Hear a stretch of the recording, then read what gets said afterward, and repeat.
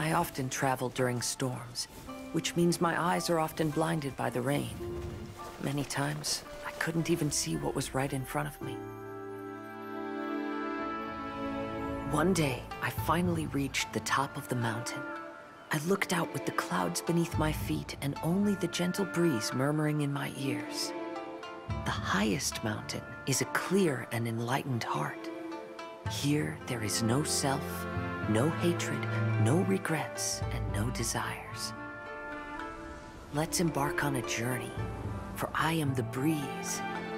We will meet again, no matter how far along the road. Life has just begun, and maybe the whole world can be my home.